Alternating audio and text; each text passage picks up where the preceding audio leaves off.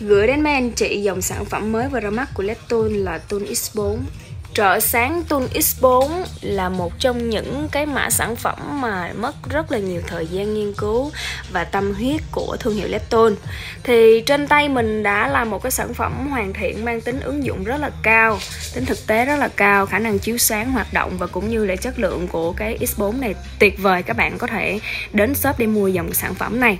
Thì các bạn biết là hiện tại trên thị trường thì chợ sáng bây giờ đang dẫn đầu xu hướng là cắt tầng pha cốt thì con X4 này nó cũng mang cái à, công nghệ đó.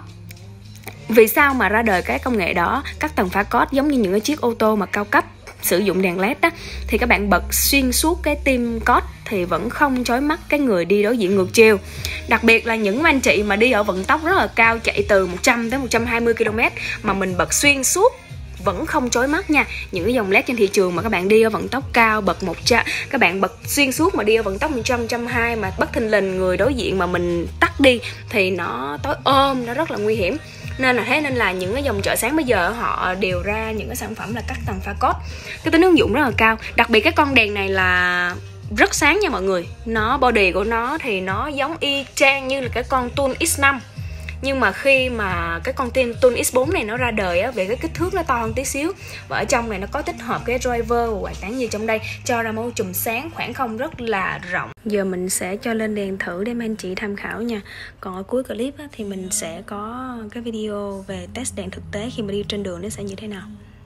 À, mọi người thấy đây là ở tim code nha mọi người. Mình sẽ mình sẽ lấy nét vào đây.